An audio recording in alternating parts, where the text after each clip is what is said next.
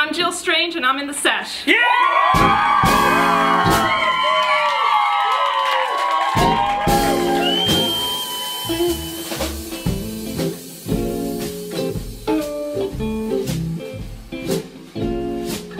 Today in the Sesh.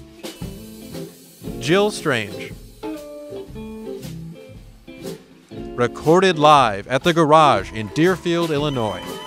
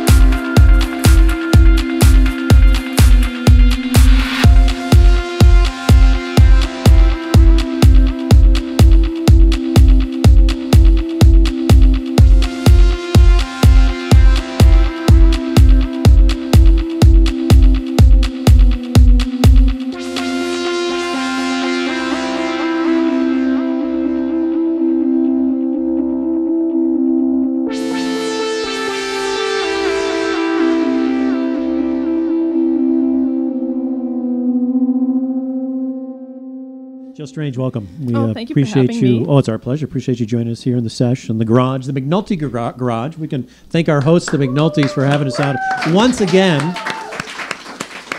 You know, I, I think about musicians and all the many musicians that I've interviewed over the years. There've been a ton of them over the last thirty years, and we inevitably we talk about them and their childhood and how they were sort of influenced to become musicians, and their parents kind of you know making them do piano lessons and, and violin, or the or, or maybe their parents were musicians themselves.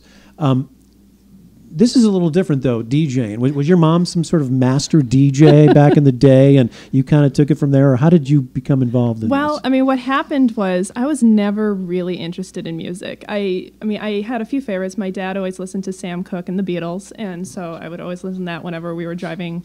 But my mom is a fitness instructor, so in the '90s she'd be listening to all this like Chicago house and like you know really upbeat like 130 BPM house music, and I was like, "Oh, this is kind of cool." And it's just like subconsciously it sat in there until I was in high school and I was kind of reintroduced to electronic music and underground culture, you know, underground music culture. So, and that's where I really started, the ball started rolling, and I just collected more and more and more of what I found interesting. so your mom actually did have some influence in you going Very much, and she's in the audience out there.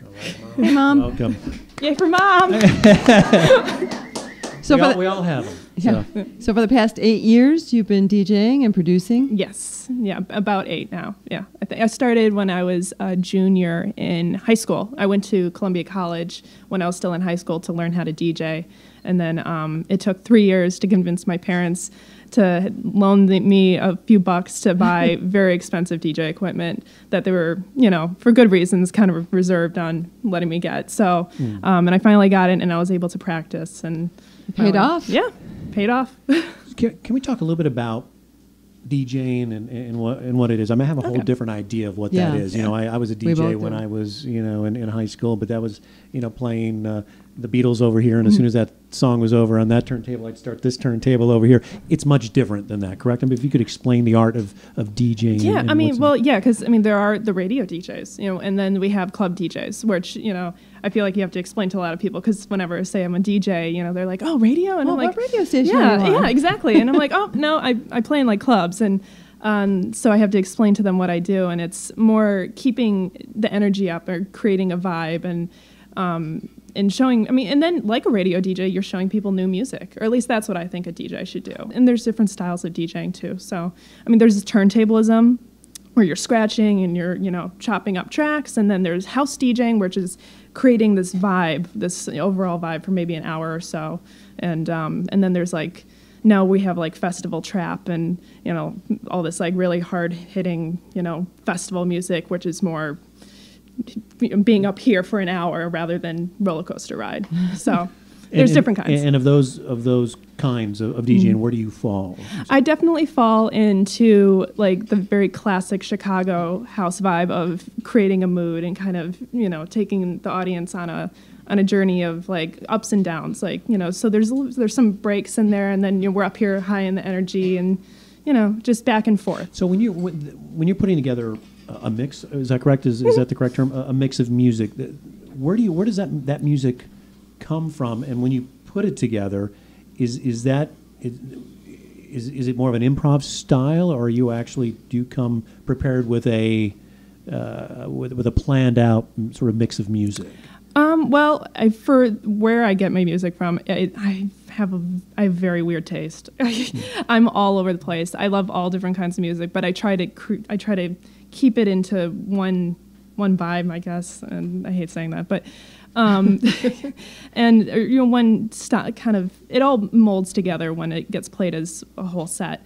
So um, then what I do is put maybe when I'm preparing for a club gig, I put maybe hundred tracks into uh, like a playlist, and then when I'm at the club, then I'm choosing you know You're maybe mixing it while yeah, you're at the club. mixing at the club, and then I'm going through my playlist, you know, reading off the audience, seeing like what oh what track will you know be great after this one, and you know oh th- I should bring this one in, and so I usually have a starting a base to you know start from. That's so, interesting. So you it, you are sort of working for the crowd. You're sort of everything the, what you, what you play and how you play it is determined essentially by the room and the crowd and and and, and how they're they're reacting to Yeah. you at that time. For sure. I mean, you know, if uh, you know, I want to keep a mood going and everyone's having a good time and reacting well to a certain kind of music, I'll keep it going for a little bit longer, and then I'll try switching it up to maybe something more soulful or something, you know, maybe with a slow little bit- set? Yeah, or You slow set, maybe like ballroom dancing, or Really? I always try throwing something weird in there. I uh, usually end a set with something either not electronic or something very classic, um, because it sticks with people. Give me an example. What do you? Um, I've ended my sets with, um, I think some '90s kids will know the ending song from uh, Good Burger with uh, Kenan and Kel, and it's um, "I'm a dude, you're a dude, we're all dudes." So um, that for, for that kind of a crowd, I do that, and uh, I've op- I usually open with Space Jam if I'm uh, doing kind of a wide range audience because everyone loves Space Jam. right, right. So in the in the world of what you do, how many uh, others out there? How many girls are doing this? Um, I- I mean, I think I think a lot of women are DJing, but we're Yeah. not seen. I mean, you don't really see a lot of women because we're not getting booked. Only two percent two percent of um, festivals are women on average. Okay. Uh, so right now there's a movement um, led by my favorite DJs, Anna Lunoe and Nina Las Vegas, Nina Kraviz, um, Louisa, uh, these famous female DJs to get more women on the scene because they are making this great music, but no one's paying attention.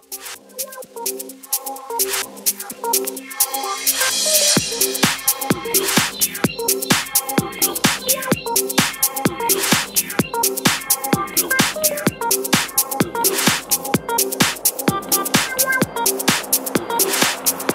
you.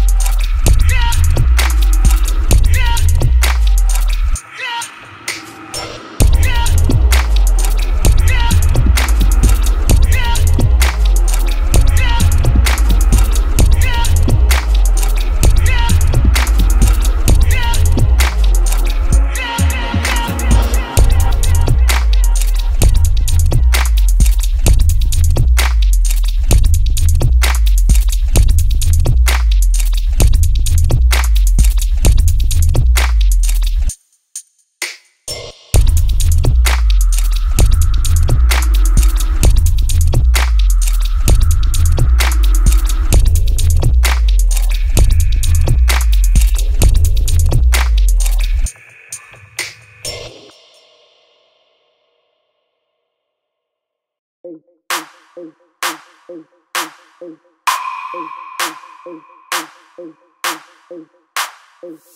the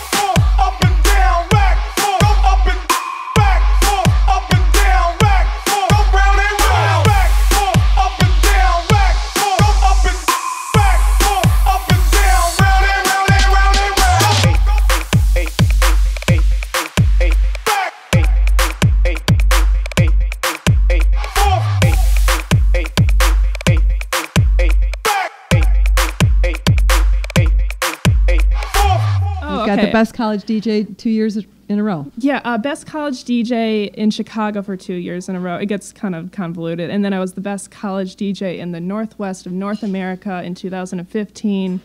And then, um, and then I came in second place for two years in the nation, which is its own story. But um, That's impressive, though. Oh, thank you. And so, yeah, I just came back from uh, the organization, just gave me the title of Best College DJ and Producer in the country for 2015. So, That's fantastic. Yeah. Thank you. Cheers. Oh, That's thank probably you. that's probably Thank the, uh, the perfect time to toast that. Yeah, so exactly. congratulations Oh, on that. We found Thank out that you. you're a, you're a fan of whiskey sours. Or Yes. How this is it? Is it good? Or? This is a good whiskey sour. you know, we because we can we can fire these Thank you, these bartenders. bartenders. if we need to. So, where does this uh, contest? Where does it take place? Uh, it's nationwide. Okay. So they come to do regionals, and then they pick out the best DJs from each region, and then there's semifinals, and they bring, you know, DJs from certain, certain parts of the country into like LA or New York, and then I was they'll, going to say, they'll do you battle get it to out. travel with it? Yeah, yeah. I got to go to um, LA, San Francisco, and Phoenix. For That's pretty. I- Is it is it uh, nice. a panel of judges that judge you? Is it is it from the gr- from the crowd? Is it how, how Um, do they? Well, uh, yeah, they uh, they do have kind of they take in consideration the crowd, but it's usually a panel of celebrity DJs. Okay. So um, from each region, uh, they have you know, or sometimes Grammy winners or radio station DJs or um, anyone in the music business, but it's usually like a celebrity panel. And are these all DJs that you know? Uh, sometimes, sometimes not. I mean, I'm not. I don't know a lot about like mainstream Okay. electronic music, so sometimes I'm like, "Oh, who is that?" And all the other DJs are like, "Oh, can you believe that Yeah, they got this?" right. And I'm like, "I don't know." it's Um, almost better, don't you think, to not know? yeah, I think it is, you're and you're less nervous. Yeah. But then uh, for the 2014 uh, season, they had Lupe Fiasco um, from Chicago, and uh, they had uh, Mac J and Flaxo and uh, JCO D- DJing. So if anyone knows those people, then yeah. I, I, I got the feeling that you were absolutely the crowd favorite and the crowd Yeah. was behind you and really maybe not too happy that you took second and not Yeah, first. right? uh, the winning DJ did get booed. Oh, And, Yeah. um, and I felt I felt I felt bad for him because he didn't deserve to get booed. But um, but yeah, I had hundreds of people come up to me afterwards and little girls, you know, with their moms saying "girl power," and I was like, so cool. I was like, oh my gosh, you know, that's yeah, I that, I was not expecting that reaction, and um, people really were rooting for me.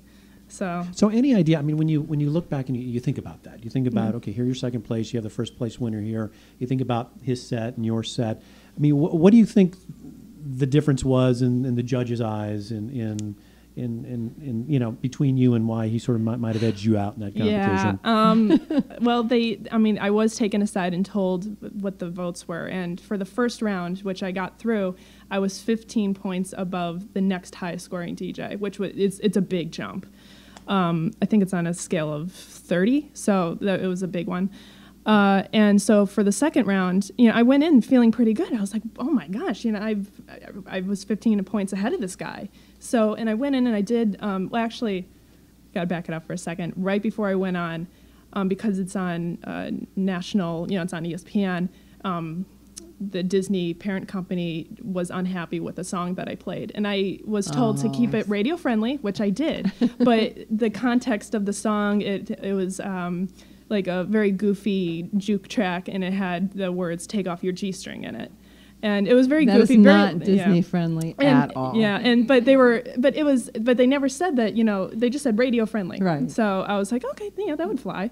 And um, so I got berated before I went on for my second set. Right before I went on, and I was like, oh my god, I've got a song in there with the word "damn" in it. Are they going to cut me off? Because they said if you have anything, we're cutting you off, and you're leaving the competition. That that put you right at ease. didn't Yeah, it? and I'm, so I'm up there like, Yeah, right. you know, oh, oh no, and I had to drop, I had to take out a track because I was worried that they would cut me off. So, um, I, it, it was just a bad situation for me going into the second round. They were going to announce the winner, and uh, they did the thing where it's like, is it Jill? Is it this DJ? And then the crowd, you know, would. You know, I don't want to be vain, but the crowd like roared for me, and there was kind of crickets for the na- other DJ. and then, um, and you know, I Jiminy was- Crickets, right? 'Cause that's And- Disney. yeah. exactly. All right. And I was kind of, you know, I was hoping that I would be called, and they called the other DJ, and he got booed. Yeah. So, That's wild. yeah. So. Well, at least you had that, right? yeah, I got saved the, satisfaction I got the, yeah, I got the and come on, second. And you're here, nation and I'm is- here is- now. You're yeah, here you're in the sesh. How about that? Mm-hmm. If, if I can ask a, a little bit about um, once you're on the road and you're DJing and you're you're you're, you're going from show to show, um, are are there are there is there a circuit that that DJs work or are you are you hired on by by clubs exclusively or uh, what what are the avenues for you? You know, I mean, there's so many. It's it's kind of a weird. It's a weird industry. It's either um, you got a lot of good friends around the country that are willing to book you in your clubs, um, or you're signed on to a label uh, and have sold a bunch of tracks, you know, and people know you um, by your name and they want to see you, uh, or you know, or this, they need an opener, so you're, you know, you can fill in. There's all different kinds of ways to play out. But right now, I'm would be happy with just playing uh, in clubs and um, maybe just doing like local kind of festivals would be cool. But I'm not, you know, I don't have a name to put on a billboard yet. So, Yeah. Right. yeah, yeah, Yes. well, it'll happen soon. We're very excited to hear you perform. Very Oh, excited. okay. So we're looking forward to doing that right now. So, Jill Strange, thank you. And Oh, welcome thank you. to the Thank sesh. you. Oh, thank you.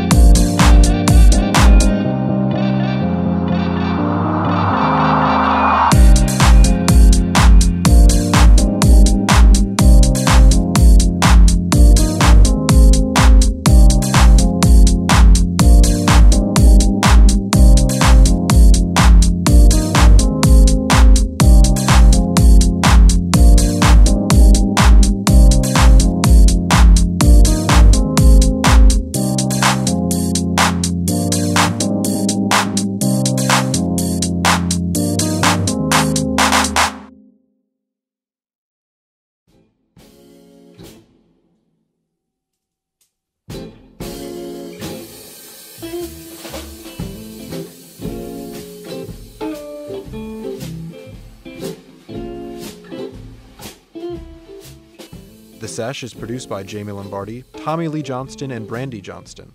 Audio coordinated by Craig Leininger and video coordinated by Samuel Johnston. Social media coordinated by Nicole Johnston. Music by Pitchy and the 44s. Special thanks to Tom and Bonnie McNulty, Trillium Productions, as well as our production assistant, Mark Sinkus.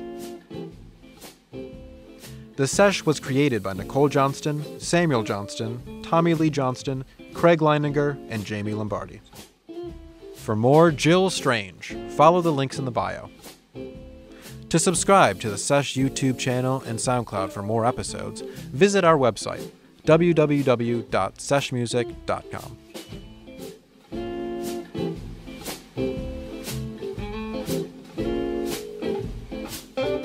She had long golden hair and aquamarine eyes to dive into and swim for a dream.